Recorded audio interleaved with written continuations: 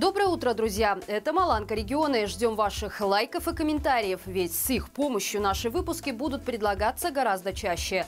А география просмотров будет становиться намного шире. А значит, именно от вас зависит, насколько большая аудитория сможет узнать всю самую актуальную и правдивую информацию о Беларуси и ее регионах.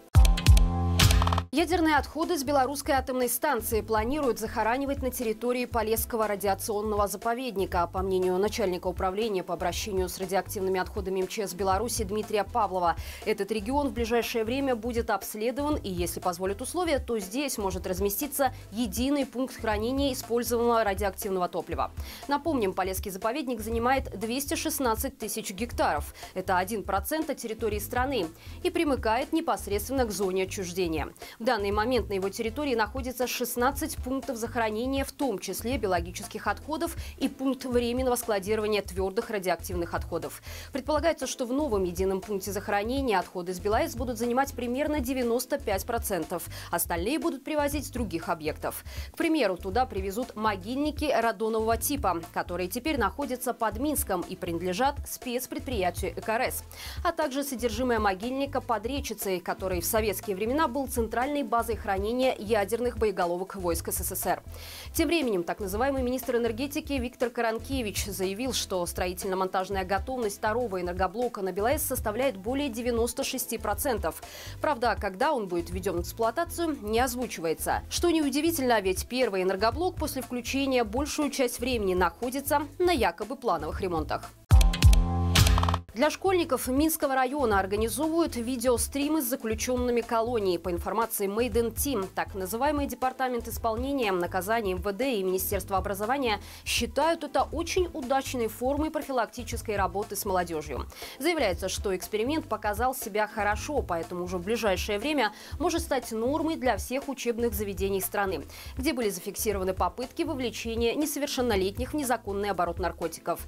Но самое главное в этой истории то, что все вся эта придумка запущена на деньги глобального фонда, то есть за средства, которые предназначались на реализацию международного проекта по профилактике, лечению, уходу и поддержке в связи с ВИЧ и туберкулезом в Беларуси.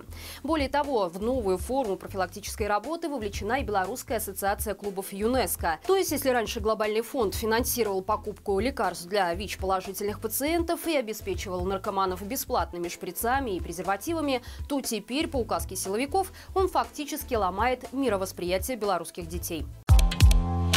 В Гомельской области на ремонт изношенных мостов и путепроводов надо потратить как минимум 90 миллионов долларов. На семи таких объектах уже начинаются работы. Еще на трех ремонт должен начаться уже в ближайшее время.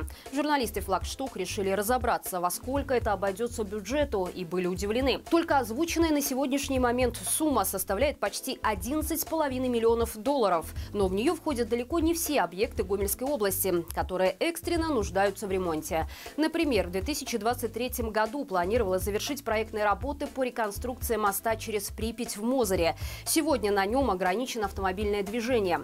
Только на разработку проектно-сметной документации и выполнение изыскательных работ по реконструкции здесь планировалось выделить порядка полтора миллиона долларов. А предварительная стоимость реконструкции моста оценивалась в 51 миллион.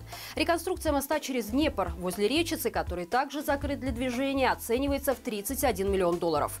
И все эти суммы абсолютно не учитывают учитывают организацию альтернативных маршрутов для жителей города и деревень, а также связанные с закрытием путепроводов транспортные коллапсы. А ведь ремонтировать надо и мосты на республиканских трассах и региональные переезды, что тут же нарушит логистику многих поставок, в том числе и для бюджетных организаций.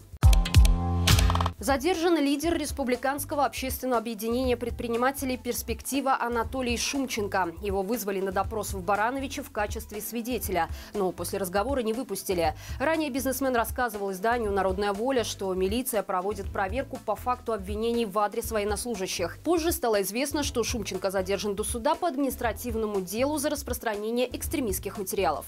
Если конкретнее, то за репост восьмилетней давности статьи издания, которая теперь была признана властями местами экстремистским, но в то время этого ярлыка не носила. В прошлую пятницу у Шумченко прошел обыск, во время которого у предпринимателя забрали компьютер и телефон. Не так давно он написал в соцсетях, что собрал тревожный чемодан на случай форс-мажора. Напомним, объединение предпринимателей «Перспектива» была ликвидирована в сентябре прошлого года.